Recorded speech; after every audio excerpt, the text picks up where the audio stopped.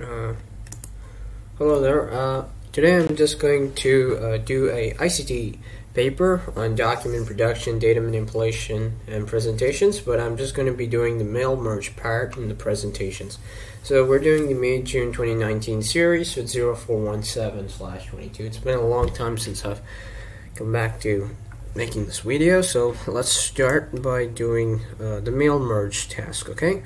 So, uh, Task 5 shows a mail merge. You are, are, required to carry out a mail merge, create a mail merge letter using the file j229 letter.rtf as master document and the j229 guest.csv as your data source file. Replace the text and chevrons uh, in the master document with the merge fields from the data source.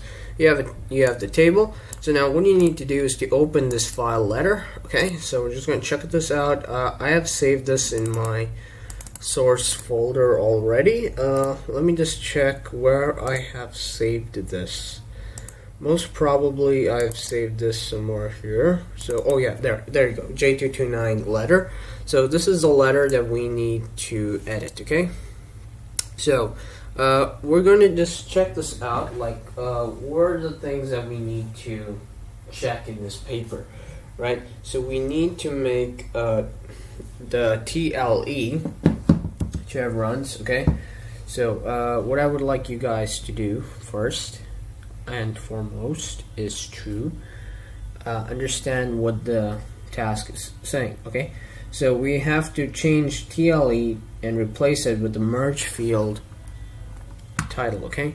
So, because you can see here, it's title, first becomes first name, family becomes family name, address 1 becomes road, address 2 is area.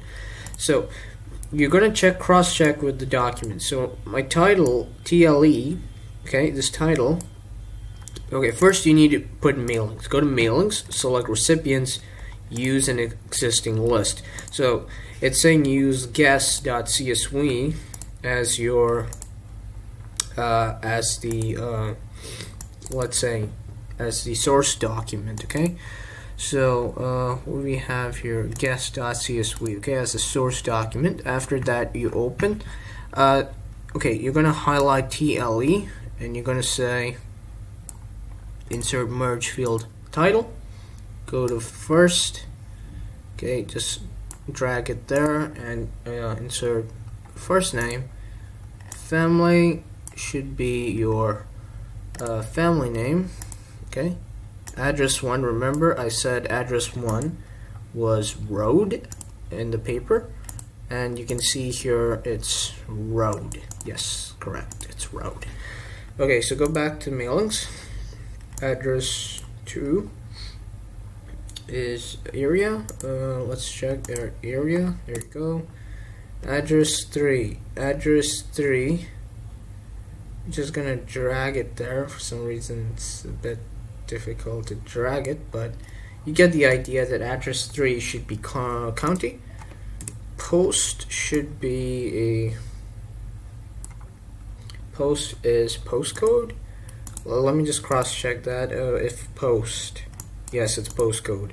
Now the next one's code, mem code, length is duration, THE means theme, MTH month, the ISC is discount. Okay, so we're going to check that again. We know that TLE is uh, is title.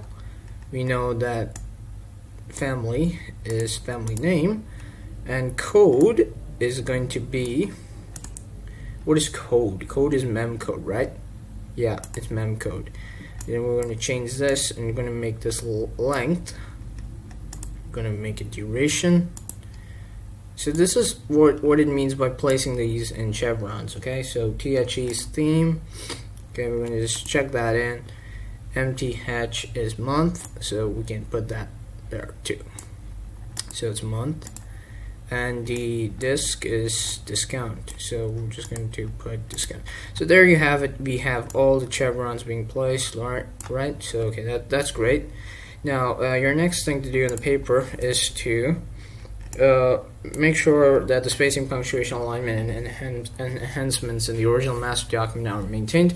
Replace the text candidate name with your name. Okay, so when you go back there, you're going to replace the candidate name with your name. So I'm just going to put my name as David because my name is David. So you just put your name there.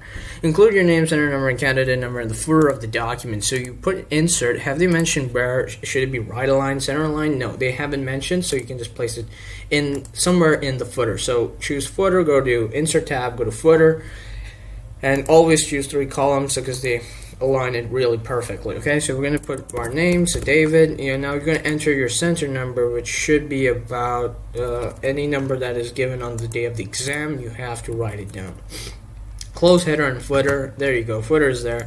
Next part is to print out five. Make sure that you have entered your name, center number, and candidate number. So you're going to print this out. You go to File, go to Print, and you're going to print this document out. That's it. So that's you have to do it on the day of the exam when you have it. Okay.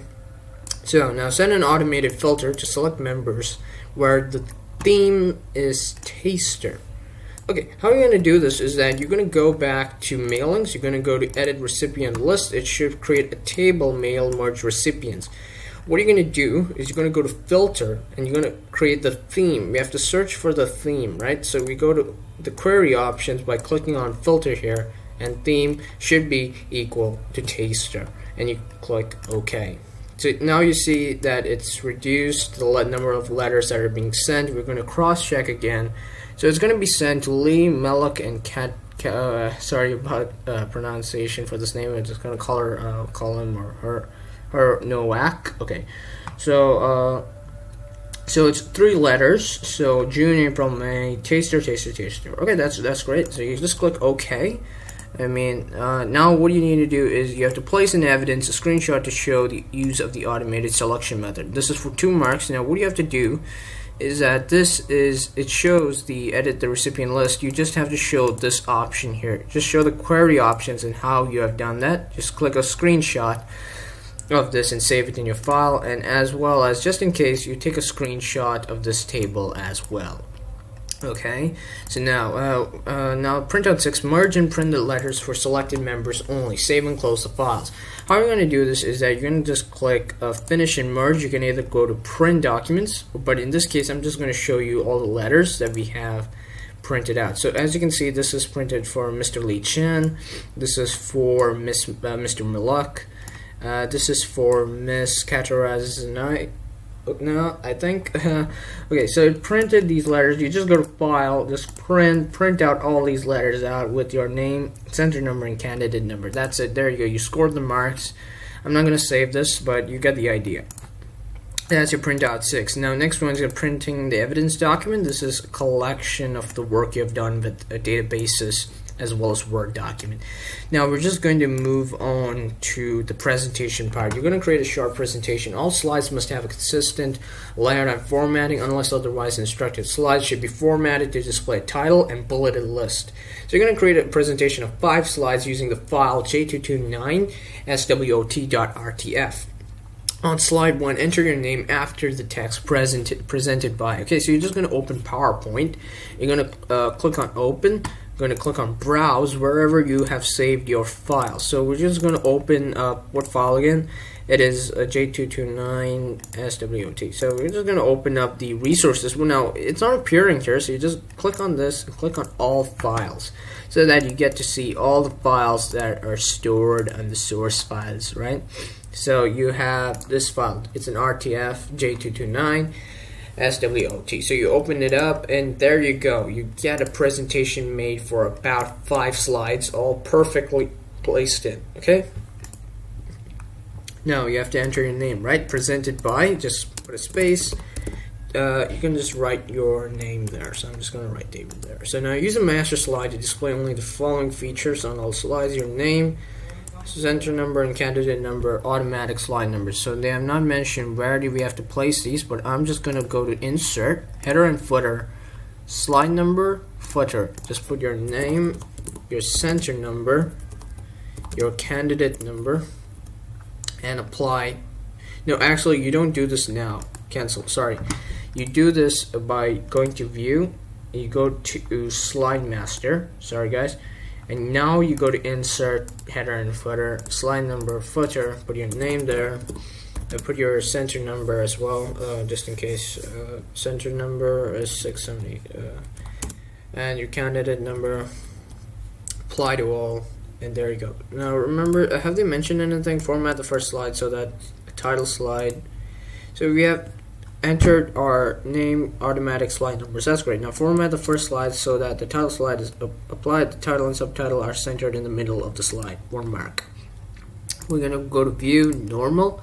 Click on this and you're gonna just go to here office theme so you just click title slide. This is all center aligned. As you can see this is center aligned and this is as well center aligned. So that's perfect one mark scored there next part is add the following text as presenter speaker notes for the slide with the title threats can neg neg negatively affect perceptions of cruising, right? So now th this is a portion where you have to uh, write it down on the day of the exam. So threats, where's that? Go to notes, presenters notes, just paste it there. Uh, make sure your name are on the slide, right? So you're just gonna print this specific slide. Remember, print only this slide as presenter or speaker notes, okay? So you're just going to go to File, Print. You're just going to print the Notes page. So you're just going to print this, and, and, your name should appear as well on the on the uh, portion there. So I just want to check if the name appears on this. Uh, yes, it appears here. So you can just go here, go to header and footer, click on footer, put your name, put your center number, uh, put your center number as let's say, and put your candidate number. Apply to all so there you have it stored there and you can just print the slide only okay? Got it? Okay so now save the presentation print the presentation as a handout using a layout of six slides to the page and make sure your name center number and candidate number are all, are all on the slides or on all the slides. So six slides to the page you go to file again go to print change the notes make it six slides uh, horizontal so there you go you have all of them uh, uh, printed out, just go again, click on footer, apply to all, just in case if uh, if they ask us to print this apply to all, so that we have our values here. You just print it out, and that that's it. I mean, you just print that with six slides. I, I think that's it for one mark, total six marks. That's fairly pretty easy. This presentation for this paper 2019. Okay, I'm gonna go over the document production and the uh, data access on in the next videos. So I I hope that you enjoyed this video. Please like, share, and subscribe. Thank you.